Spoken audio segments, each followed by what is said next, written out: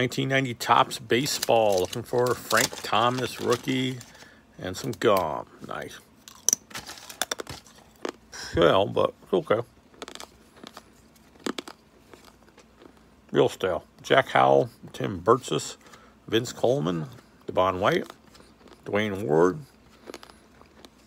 Brian Downing, Mike Bielecki.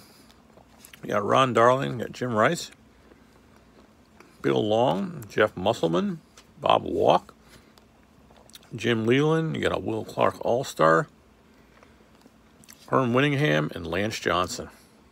Oh, another pack of hot garbage. Thanks for watching.